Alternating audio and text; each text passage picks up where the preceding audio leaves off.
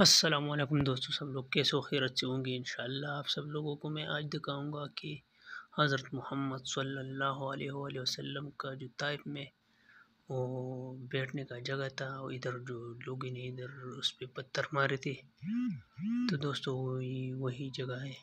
आप देख सकते हो, बिल्कुल इस तरह हमने आपको ये दिखाया। तो ये बिल्कुल ताइफ का हार है, आप देख सकते हो। दोस्तों, ये हमारा दोस्त इधर आए और इसका ज़्यारत कर, करने आया है। तो मैंने सोचा आप लोगों को भी दिखा दूँगा। तो दोस्तों, आप देख सकते हो, ये इसका तारीखी जगह है। ताइफ का जो इधर भी बूढ़े औरत का भी घर भी है, जो नबी सलाम सल्लल्लाहु अलैहि वसल्लम पत्थर मारे थे और कचरा फेंका था। ये वही घर है। दोस्तों, ये जो दीवार दिख रहा है, ये उस बूढ़े औरत का घर है।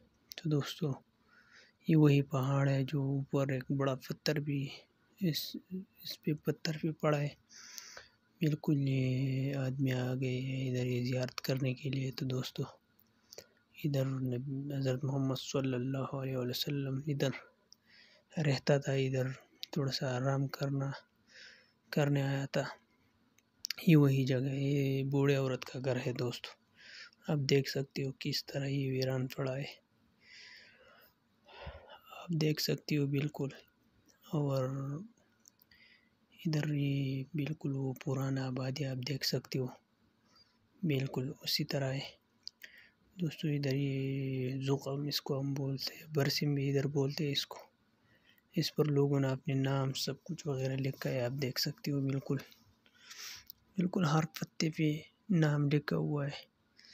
क्या वजह पता नहीं है कि क्यों लिखा है, लेकिन लिखा है। बिल्कुल उधर ही वो जो पत्थर नज़र आ रहे हैं वही पत्थर है कि बस इस पत्थर के नीचे एक थोड़ा सा छोटा सा पत्थर अगर ये उधर से हट गया तो ये डायरेक्ट इस रोड पर आ जाएगा।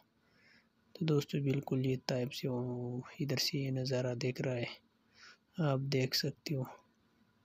तो दोस्तों, मैंने सोचा आप सब लोग की भी यही जगह दिखा हुई मुबारक जगह।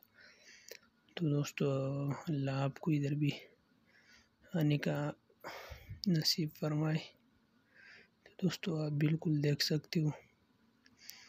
और ये ताइफ का रोड है। ये वही बूढ़े औरत का घर है दोस्तों। ये बिल्कुल मस्जिद अब्बास रज़ी अल्लाह तहों का मस्जिद है। हम इधर भी विज़िट किया है, इधर आ है। तो मैंने सोचा आपको ये भी दिखा दूँगा। दोस्तों आप देख सकते हो बिल्कुल इधर से ये जो देख रहा है ये मकबरा है।